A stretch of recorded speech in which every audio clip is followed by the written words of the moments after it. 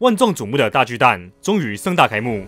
同样重磅的开球嘉宾也再次莅临台湾，他就是世界全垒打王王贞治。在日本职棒拿下九座 MVP，十三座日本冠军，还有史上最多的八百六十八支全垒打。王贞治在日职创下了数不清的纪录，但因为他中华民国国籍的关系，在成长的过程中其实遇到了很多问题。而作为一个日本人眼中的外国人，他克服了高中毕业才弃头重打。生涯早期被叫做“三阵王”等挫折，靠着不懈的坚持和努力，用招牌的稻草人打法席卷日本，成为日职史上最传奇的人物之一。就让我们聊聊他的故事。Hello，大家好，欢迎收看沙发人物志，让我们一起坐在沙发看体育。那我们今天要讲的是来帮大巨蛋开除的棒球传奇——世界全垒打王王贞治。王贞治在一九四零年出生在日本东京，他的爸爸王世福来自中国浙江，在一九二零年代移居日本，妈妈王德美则是日本人，所以王贞治一直持有中华民国国籍，不过和台湾是没什么关系的。王贞治的爸爸在东京开了一间中华料理店，叫做五十番，因为爸爸为人和善，料理广受好评，所以小店的生意非常好。不过作为家中的老四，王贞治却从小体弱多病。两岁的时候还不会走路，身体瘦得和皮包骨一样。因为双胞胎姐姐和另一个妹妹都因病去世，所以王贞治一直被当作老幺来看待。妈妈为了他的身体也是非常烦恼，总是背着他到浅草医院看病，并经常到庙里向第四天祷告。幸运的是，他的病情逐渐好转，身体变得越来越结实。因为家境不错，还被叫做五十番小少爷。当时正逢二战期间，他们一家为了减少麻烦。就用了妈妈的旧姓当住，而最让他印象深刻的就是一九四五年的东京大轰炸，超过三百辆的美国轰炸机在东京进行了无差别轰炸，把整个城市变成了一片火海。王贞治的爸爸为了保护店面留在家里，而妈妈带着他们一家人连夜逃难。在半梦半醒之间，王贞治被妈妈背在背上，只记得整片天空都被染成了红色，成了他一辈子都不会忘记的回忆。这一场轰炸造成了超过十万人死亡，上百万人流离失所。所幸王贞治一家幸存了下来，不过店面是被完全摧毁了。终于在一九四五年八月，日本投降，五十番在十一月重新营业。因为日本国内人口统计的关系，王贞治一家人改回王姓，也正式取得中华民国国籍。二战结束，百废待兴，我们也将正式进入王贞治的野球人生。虽然在幼年时期体弱多病，不过在六岁以后，王贞治就长得非常高大了。因为经常打架闹事，还成了地区的孩子王。小时候的王贞治不止体格好，运动能力也非常出色。在中学时加入过田径部和桌球部，还因为相扑的表现非常出色，所以被当时的横纲吉野山建议说做个相扑选手吧。而最早开始接触棒球，是因为哥哥加入了高中棒球部。王贞治也因为被带去合宿开始打棒球，所以在小四的时候加入棒球队，并同时担任投手和先发第四棒。中学时的王贞治就读于墨田区本所中学，当时学校里面没有棒球部，他就加入地区的棒球俱乐部练球。虽然俱乐部里面大部分都是高中生，不过国二的王贞治就已经有一百七十六公分，看上去和成年人没有任何差别。有一次在公园比赛的时候。他意外吸引到了改变他一生的重要导师——每日猎户星队的荒川博。每日猎户星队就是现在的千叶罗德海洋，而荒川博球员时期的表现是比较一般，但却很善于发掘人才。他注意到王贞治虽然是用左手投球，不过打击却是用右手。一问之下才知道，因为爸爸要求王贞治用右手握筷子和写字，所以就自然的养成了右打的习惯。但作为左打的荒川非常了解左打的优势。于是建议王贞治改练左打，后来又发现高大的王贞治竟然只是个国中生，于是就强烈建议他加入自己的母校早稻田实业高中，在那里接受正规的棒球训练。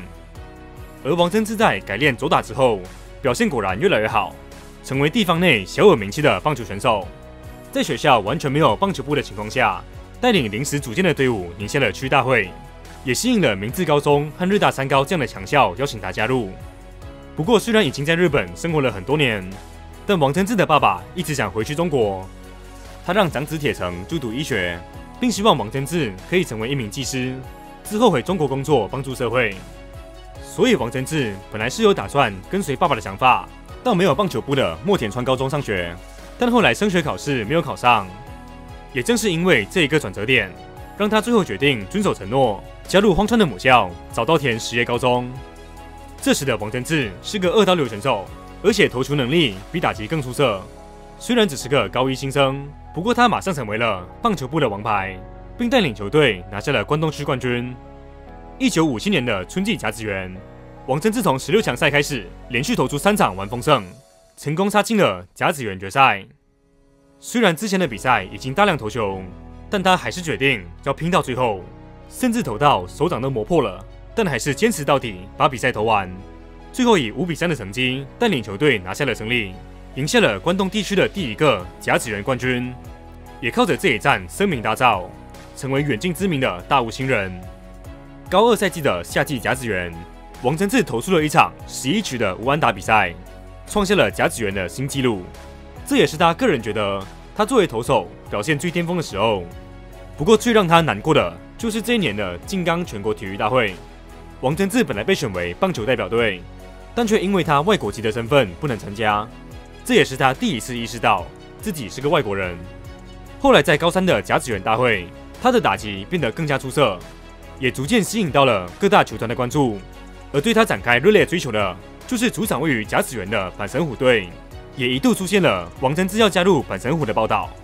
听到消息的巨人队才赶忙加入争夺战，并表示本来以为王贞治要去读大学，但如果要成为职业球员的话，请一定要来我们这里。而作为在东京土生土长的孩子，王贞治最后还是决定加入巨人队，因为王这个姓氏听起来像英文的 One，所以就选了一号作为背号，并在一九五九年正式签约巨人队，展开他传奇般的职业生涯。以大物新人的身份进入日本职棒，但生涯早期的王贞治并不是那么顺利，甚至可以说是挫折不断。虽然在高中时期是王牌投手，但巨人队的教练却一致认为他的投球没有职业水准，反而是打击更有潜力，所以就建议他弃投重打，而且还告诉他从明天开始不用练投球了。王贞治的心里虽然有点不舍，但也意识到他的投球能力下滑了，如果坚持下去，可能不会有好结果。所以也算是松了一口气，并在球团的安排下改打一垒手。这时的巨人队正逢新老交替时期，队内的主力战将是前一年才加入的长岛茂雄，而王贞治也被视为备受期待的潜力新人。虽然在公开赛有着还不错的发挥，但开季的王贞治表现惨不忍睹。生涯的第一场比赛，他就面对到了名头金田正一，这名大投手是日子的历史胜投王和三振王。王贞治在他面前没有任何办法，连续吞下了两次三振，之后更是连续十场比赛二十六个打席，一支安打都没有。不过水原教练选择相信王贞治，所以一直把他留在场上。终于在生涯的第二十七个打席，面对国铁燕子队，王贞治才敲出了生涯的第一支安打，也是第一支全垒打，最后也帮助球队拿下胜利。不过除此之外，也就没有什么亮眼的表现了。生涯的第一个赛季，打出了七支全垒打，打击率只有一成六，还因为太容易被三振，所以被叫做三振王。每一次出场都会被观众大声的嘘他。本来王贞治还以为他会被球队开除，结果球团不但没有开除他，反而还帮他加薪了。这是因为教练发现王贞治非常懂事，在训练的时候总是会主动帮忙捡球，还会在晚上拿针线缝补破球，认为他是一个可造之才。所以才把他留在球队。在生涯的前三个赛季，王贞治的表现虽然有所进步，但整体的发挥并不出色。一九六一年，日本的打击之神川上哲治接任巨人队教练，并带领球队拿下了日本冠军。但他反而是被卷入交易流言，一度传出了转队的消息。但是在这个时候，王贞治的启蒙导师荒川博加入巨人队担任打击教练，而改变他生涯的稻草人打法也正式登场了。一九六二年，荒川博加入巨人队，而当他亲眼看过了王贞治的打击过后，却说出了这样的打法只能打到躲避球这样的话，让王贞治听了非常泄气。但荒川虽然嘴上这么说，却很认真的帮助王贞治改变打法。他注意到王贞治的上半身动作太慢，于是建议他抬起一只脚，先做好准备动作来击球。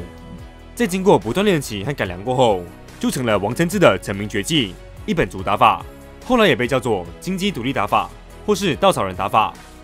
不过刚开机的时候，因为害怕失败，所以王贞治还是使用之前的打法。刚好又遇到巨人队全队低迷，整支球队陷入了低潮期。据说荒川因为这一件事，苦恼到头上流血，满脸是血的抓着王贞治说：“从今天开始，给我用一只脚打，不要害怕三振。”于是，在一九六二年的七月一号，王贞治第一次在场上使用了稻草人打法，结果效果是意想不到的。在五个打数里面，他打出了三支安打，外带四分打点，其中还有一支全垒打，带领巨人队以十比零大胜对手。不止让全队士气大振，也确定了他之后的打法。在稻草人打法的帮助下，王贞自从本来四月到六月只有九支全垒打，到七月份一个月就打出了十发全垒打。只用了这一个赛季，就完全完成了蜕变，以二成七的打击率打出三十八支全垒打，成为了央联的全垒打王。这样的结果也让王贞治找回了自信，开始对稻草人打法的魔鬼训练。为了练就稻草人打法，王贞治日以继夜的加强训练，每天都跑到荒川家里练习挥棒，甚至练到第二天手抬不起来，练到踩破榻榻米地板，还得到了练习之鬼的外号。为了锻炼打击的专注度，荒川把纸片悬挂在空中，让王贞治用武士刀练习挥击。只有精准的砍中，才能让纸片一刀两断。王贞治相信，如果不断苦练，运气也会站在你这边。所以每天对着镜子不断重复练习。有一次和日本名将野村克也在外面喝酒，王贞治一到点就主动告辞去练球，让当时的野村克也感叹说，自己总有一天会被这家伙超越。而也正是靠着这样的努力，让第二年的王贞治破茧而出。他和长岛茂雄组成了 O M 炮连线，横扫了日子的所有奖项。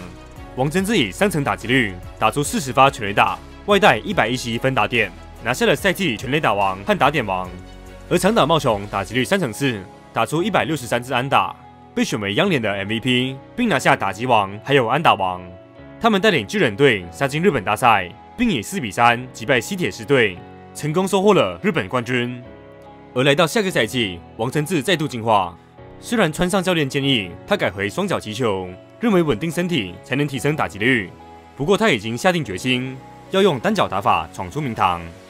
开季第一场比赛又面对金田正一，王贞治这一次直接靠出大号全垒打，证明自己已经今非昔比。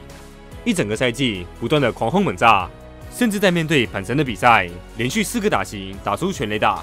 一直到赛季结束，王贞治一共打出了五十五发全垒打，创下了日本职棒的新纪录。一直到接近五十年后，才在二零一三年被养乐多洋炮巴伦丁打破。而日本职棒的本土选手纪录，则是在去年被村上中龙打破。这样破纪录的表现，也让王贞治收获了生涯的第一座 MVP，并在之后的赛季开启巨人王朝。一九六五年，金田正一加入巨人队。让本来就阵容深厚的巨人变得更强大。后来又在每一年陆续补强，吸收了高田繁、柴田勋和库内恒夫这样的极战力新人，组成了阵容豪华的超级球队。从一九六五年开始到一九七三年，他们完成了空前绝后的日本大赛九连霸。刚好又遇到日本经济高速成长，让巨人队成为了全日本人气最高、最有代表性的球队，影响力一直延伸到了现在。而这段时期最有名气的，当然就是巨人的中心打线王贞治和长岛茂雄。这九年里面，王贞治每一年都是全垒打王，其中还有三次打击王和六次打点王，而且有五年被选为央联 MVP。另外的四年，则是由长岛茂雄和库内恒夫拿下。这时的日子就是巨人队一枝独秀，而王贞治最大的竞争对手也不是别人，就是他的队友长岛茂雄。两人的关系亦敌亦友，却又互相尊重，成为了彼此进步的最大动力。王贞治形容，外号“巨人先生”的长岛茂雄就像是球队的长子，作为巨人的招牌，承担所有责任。而他就像次子一样，可以自由发挥，所以才创下了这么多纪录。当时王贞治最大的目标就是拿下打击三冠王，但有好几次打击率和打点都输给长岛，再加上对手经常故意保送，让这个目标一直没有实现。终于在一九七三年，王贞治的打击迎来大爆发。以三成五的打击率打出五十一发全垒打，外带一百一十四分打点，终于收获了生涯的第一座打击三冠王，并以四比一在日本大赛成功夺冠，完成了九连霸。后来这一个日职史上最辉煌的巨人王朝，也被叫做 V 九时代。随着阵容老化和新人战力不足，V 九时代的后期巨人战力逐渐衰弱，长岛的表现下滑，让其他球队可以重点关注王贞治。所以在一九七四年，他一共被故意保送了四十五次，创下了日子的纪录。这个赛季，他再一次拿下打击三冠王，并收获了生涯第七座 MVP。不过巨人最后排名央年第二，没办法挑战十连霸。再加上当时社会上的一些争议，让川上教练宣布辞职。长岛茂雄也在这一年退役，让 O.M 炮连线成为历史。巨人王朝宣告结束。第二年长岛上任，担任巨人队教练。而当时已经六百轰的王贞治，也定下了新的目标，那就是打破世界全垒打纪录。在当时的一九七零年代，大联盟的历史全垒打纪录是贝比鲁斯的七百一十四轰，当时也被认为是世界全垒打纪录。而在日子和大联盟同时出现的两位挑战者，也燃起了两地的全垒打热潮。他们就是王贞治和汉克阿伦。率先打破纪录的是一九七四年的汉克阿伦。他在一九七六年退役，把纪录定格在了七百五十五支。同年，安打制造机张本勋加入巨人队，王贞治释放了打击的压力，也增加了全垒打的产量。最后在这一年超越了贝比鲁斯的纪录，打出生涯的第七百一十五轰。这时的王贞治已经三十七岁，但还是维持了很好的打击状态。而随着纪录一天一天在靠近，他的全垒打也成为了全日本都关注的消息。终于在一九七七年九月，面对养乐多燕子队，王贞治在三局下半奋力一击，打出了七百五十六号全垒打。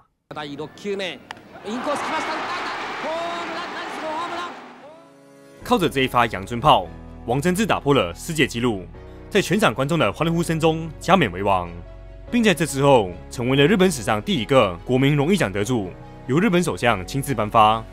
虽然因为大联盟和日子强度不一样。球场的大小也有所不同，所以美国这一边普遍不承认这个记录。而王贞治也有说过，把他拿来和汉克阿伦比没有任何意义，也从来不觉得自己是世界第一。但是在很多球迷的心中，王贞治确实做到了无法超越的记录，在棒球史上创下了新的里程碑，所以把他尊称为世界全垒打王。创纪录的这一年，王贞治打出了五十轰，可惜在日本大赛败给了阪急队。之后的赛季，他的身手逐渐下滑，但还是每年不断的刷新纪录。不过在长岛的带领下，巨人队始终没有重回巅峰。而王贞治也注意到他的身体开始衰退了。虽然一直很想完成生涯一千轰的纪录，但考虑到身体状况可能无法维持，因为不想让球迷们失望，希望可以留给观众们一个完美的印象，所以最后在一九八零年十一月正式宣布退役。消息传出的当下，震惊了全日本。因为在上个赛季，王贞治还能打出三十发全垒打，没有人想到他会忽然退役。但是对王贞治来说，他的生涯已经足够完美了。二十二年的职业生涯里，他拿下了十一次日本冠军，九次央联 MVP，还有数不清的打击奖项。就连在一九七二年才设立的金手套奖，他都成功拿到了九次。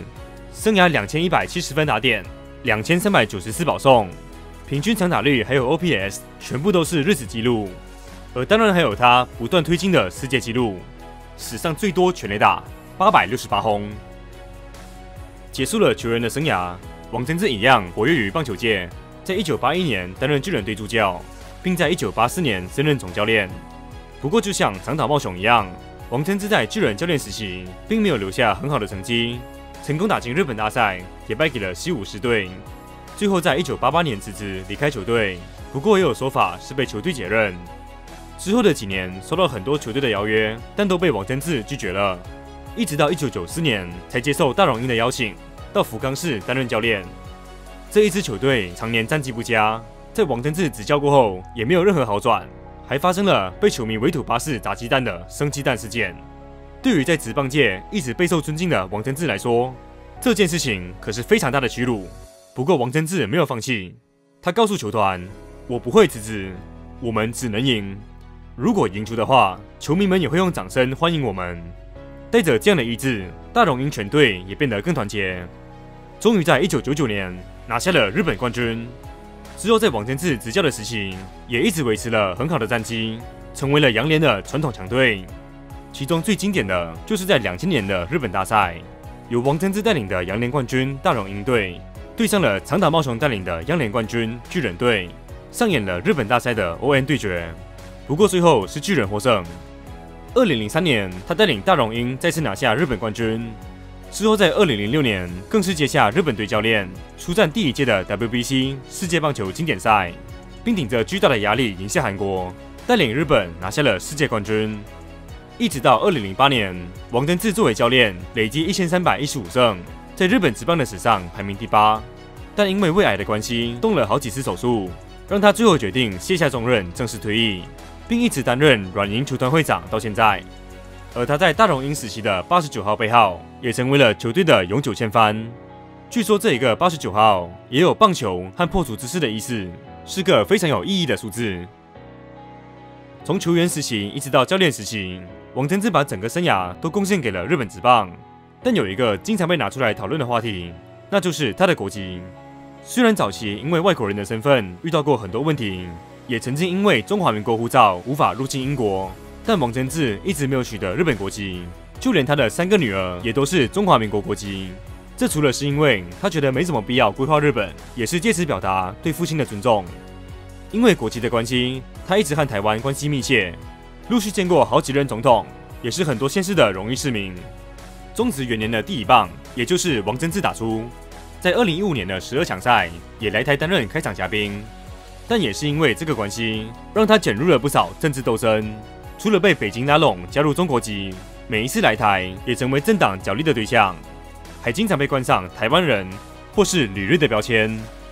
但即便是有了这些因素，王贞治在日本人的心中一样是日本职棒的代名词。不但把他视为全民偶像这样崇拜，也发自内心的接受他的国籍，以至于后来好几次有洋将要打破全垒打纪录，都被其他球队故意保送破坏。就是要把这个记录留在本土。在二零二一年的东京奥运开幕仪式，王藤志也和长岛还有松井秀喜一起担任了最后阶段的圣火传递手，证明了他在日本的崇高地位。能够在民族性很强的日本做到这一点，就知道王藤志的成就有多么伟大。而这一次来到台北为大巨蛋开球，也是为台日两地的棒球交流再记上一笔。从当初被人嘲笑的三阵王，到后来征服日本，成为全垒打王。王贞治被认为比日本人还像日本人的，就是他坚持不懈的职人精神。这样的态度影响了后来的铃木一朗还有松井秀喜，后者又进一步影响下一代的日本选手，让日本的棒球开枝散叶。这也是为什么现在已经八十三岁了，他还是为了棒球到处奔波。所以就算是一直遇到国籍问题，全垒打的记录不被承认，但王贞治对于棒球的贡献绝对是不可磨灭的。他本身的存在已经超越了国籍。成为了棒球界的传奇人物，也难怪他被叫做世界之王。